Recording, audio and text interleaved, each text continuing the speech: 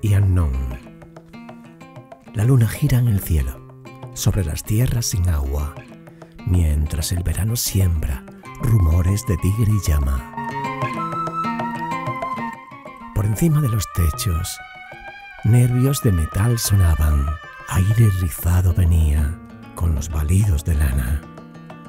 La tierra se ofrece llena de heridas cicatrizadas o estremecida de agudos, cauterios de luces blancas.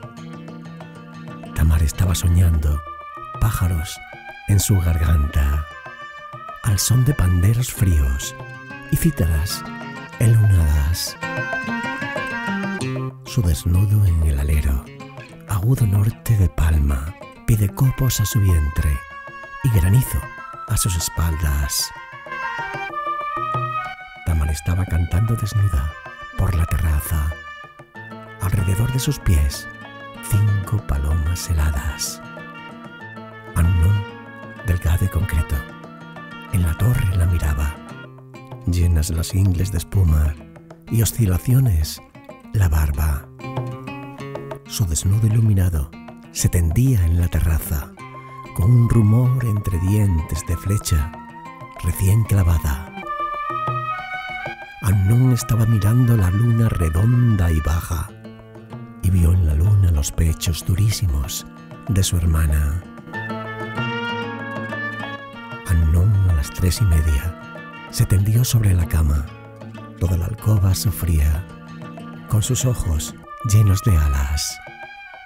La luz maciza sepulta pueblos en arena parda o descubre transitorio coral de rosas y dalias. Linfa de pozo oprimida, brota silencio en las jarras. En el musgo de los troncos, la cobra tendida canta.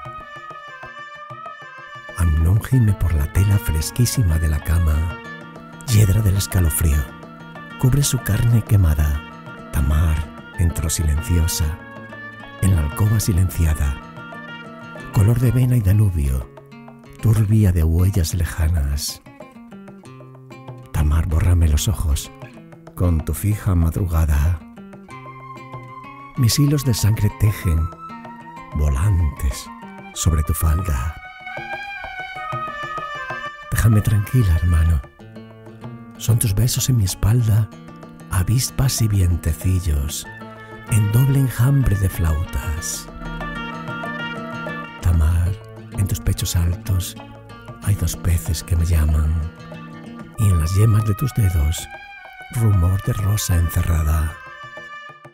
Los cien caballos del rey en el patio relinchaban, sol en cubos resistía la delgadez de la parra. Ya la coge del cabello, ya la camisa le rasga.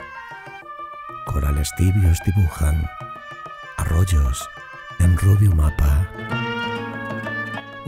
Gritos se sentían por encima de las casas.